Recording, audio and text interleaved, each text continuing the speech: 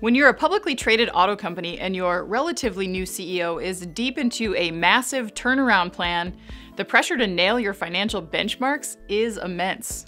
So when Ford approached its latest earnings report with its tail between its legs, there were consequences. Last week, Ford announced its full year 2018 earnings, and the good news is the company made $7 billion in profit. The bad news? That's a profit margin of 4.4% compared to a margin of 6.1% the year prior. Company CEO Jim Hackett took over Ford in 2017 with the task of improving its profitability. Shortly thereafter, he announced a $3 billion cost cutting strategy, which we've since learned will include eliminating multiple vehicle models and thousands of jobs.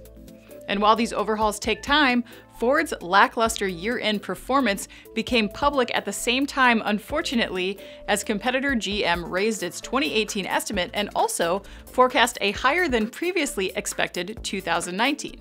So Hackett is ruffled, to say the least, and Reuters obtained a copy of an email that he sent to employees following the results. And let's just say it's not the kind of note you want to receive from your boss. Ford CEO called the company's fiscal, quote, mediocre by any standard, and warned employees against being fooled by the $7 billion profit sum. While it sounds like a lot, the target was more like 14 billion, meaning the profit margin is about half of what Ford expects.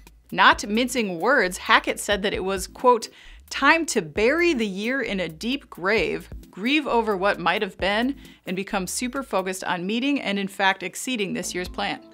He also said literally that he was mad. Mad at himself and mad in general because Ford is, quote, better than this. So, what happens next? Ford's board has urged Wall Street to exercise patience with the new CEO's plan, and on the latest call with investors, Hackett more or less called 2018 a rebuilding year.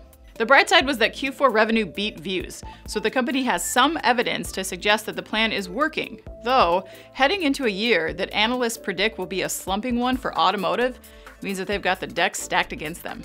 I'm Anna Wells, and this is IEN Now.